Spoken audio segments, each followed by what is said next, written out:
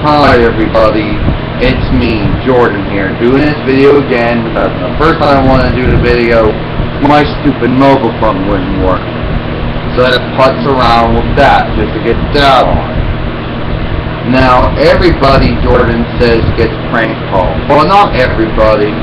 Some people can be then sound very fortunate not to have received any prank calls either on their mobile phone or their telephone or both.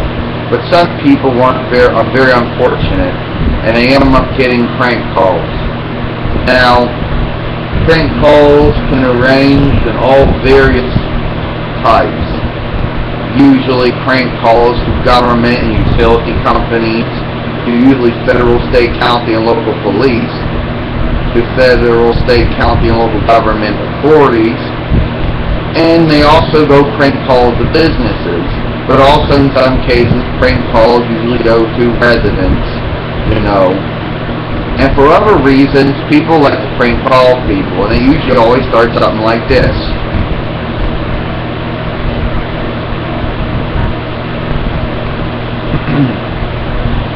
hey, is your refrigerator running? Well, if it is, you better go shake that. And you're there with that stupid look on your face, and you just hit cancel call.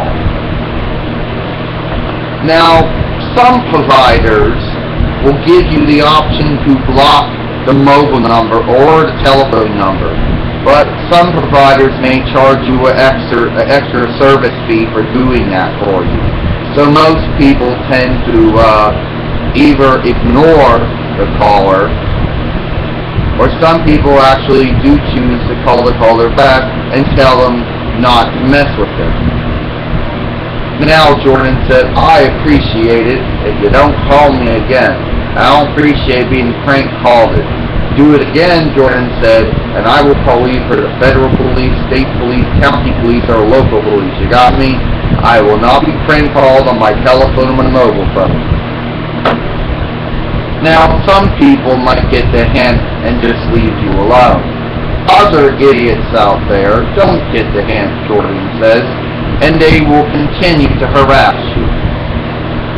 Now, in some cases, Jordan says, either you ignore the number or you block the number.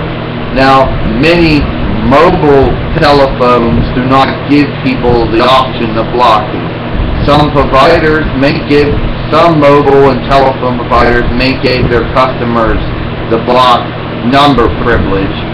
Uh, usually in some cases have to pay an extra fee for doing the said app. But Jordan said most people basically just sit there and let it happen. Okay? But Jordan said most likely prank calls are annoying and usually only be a local or a county matter you really couldn't get state and federal involved unless it was a unless it was a unless it was a really really severe crime. Now prank calling can be considered a crime if you do it to either federal, state, county, and local police, local and county fire departments. Then maybe even in 911, then then, then it becomes a crime. Now people think it's funny to prank call people. I go like this. Hey, you want to smoke some crack? I got crack for you to sell. First off, Jordan said, and then you go like this. Okay, that's it. I'm just blocking the number, Jordan said. And remember, for future reference, if you ever say that on the phone to someone, if uh, you ever say that again, somebody could get you in trouble with the with the federal, state, county, and local police. Goodbye. Now you're going to probably say, Jordan, you get prank called a lot. You get a lot of phone calls because you do acting gigs. You run a motion picture company.